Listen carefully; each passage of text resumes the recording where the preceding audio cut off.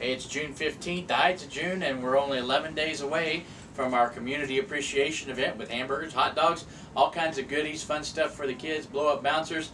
Uh, a bunch of us going to be on the. Uh, I always jump like that when you do that, but you know, it makes it fun. The uh, blow up bouncers for the kids. I'm, uh, the, some of the gals and I are going to be on the uh, dunk tank. Uh, have a shot back at me.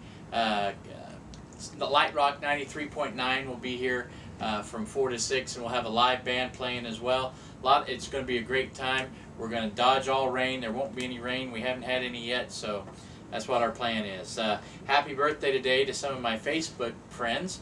Uh, Jill Farley, she's a teacher there at Carl Junction, and then Lauren McCrae, she's uh, good friends of my kids, and I consider a nice young gal that always says hi to me. So hi, Lauren, happy birthday!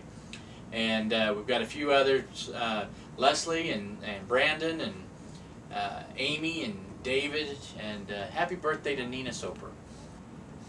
The topic of the day is uh, abscess, and someone will come in and, and they'll have an abscess too, and they say, well, well, can't you just fill it? No, you can't just fill it.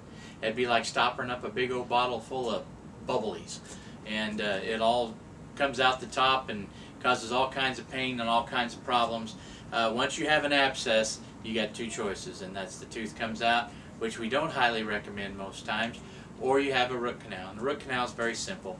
And uh, root canal will be a topic one of these days. But for today, abscess is simply uh, bacteria that's at the the, uh, the tip of the root. The tooth is dead, and it's causing you all kinds of pain usually. So we give you some antibiotics. The antibiotics does not cure it. All it does is simply uh, keep it from getting into your body and making you sick or killing you. So that the antibiotics is just to kind of hold you out until you can make a decision on what you want to do with that tooth. So don't come in coming in here and want me to fill your abscess tooth because it's just not going to happen. So happy June 15th. We've got a link to the day that Sam's picking.